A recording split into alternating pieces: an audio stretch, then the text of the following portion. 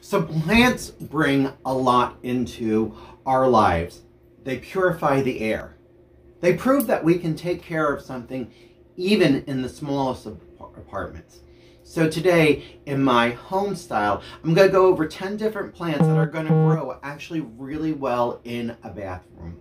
The first one is a fennel leaf fern, one of my favorite plants. Unfortunately, I don't seem to have a green thumb with that. The next are orchids. Because of the humidity, orchids do really great in a bathroom. I've seen this done a couple times. Moss, you can actually make a wall planter that moss will grow in and it looks super cool.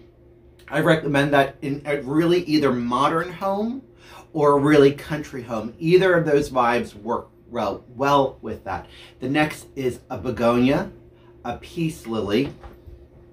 This one big here is a snake plant.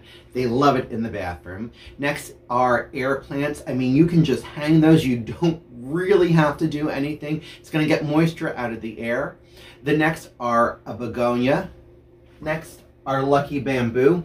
And I'm seeing these more and more are the little ornamental peppers. Um, they look exactly like a miniature pepper. I don't believe they're edible, but they're super cute because they come in the rainbow of colors that peppers come in. Hey folks, this has been Joe from Style by Joe, which of course is my YouTube channel that I would love for you to check out. Today in my home style, I went over 10 plants that will grow super well in your bathroom.